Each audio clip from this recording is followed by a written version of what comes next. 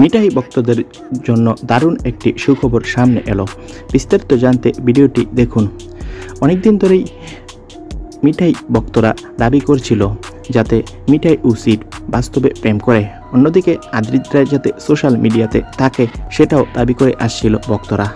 তবে এবার দর্শকদের দ্বিতীয় ইচ্ছাটি পূরণ হয়েছে। অনেকদিন ধরেই আদ্রিত রায়কে নিয়মিত সোশ্যাল মিডিয়াতে দেখা যাচ্ছে। আর অন্যদিকে এই নিয়ে ভক্তরাও খুশি।